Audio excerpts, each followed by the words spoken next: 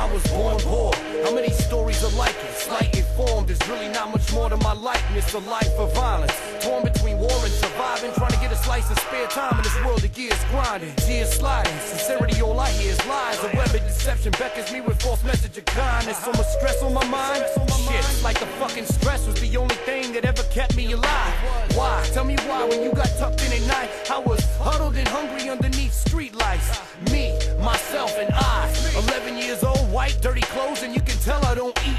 Frightened to go home, crying because it's so cold. I thought I'd die of fucking exposure before the sun rose. I'm tired of being wired up.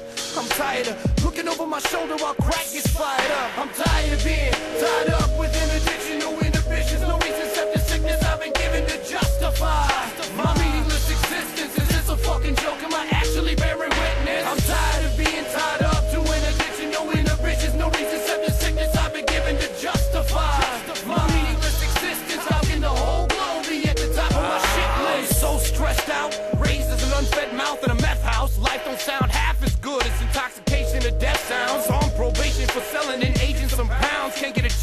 pays any more than work at McDonald's. My baby's mom's fucking crazy. At least I'm blessed with a child that makes me smile when I hate me. When shit's getting me down. When the frown on my face is almost permanent now. And the songs that I have made to be heard by thousands get no play. This rap shit's burning me out. Turning around to find more problems knocking around. In the closet of my memory, long forgotten and piled up. Covered with dust, going nuts cooped up in that house. I fucking love her, but we fight till she's throwing me out. Try to leave, she won't let me. It's like I'm slowly drowning. Gotta breath and hold it. Powerless, get dressed, go to work, work at least eight hours. No more robbing for money, selling drugs, all proud to be a legend of the ghetto. I'm a good boy now, but if it weren't for my kid, I'd slap my PO in my dick, murder my bitch, then rob banks till I was pervertedly rich. Certainly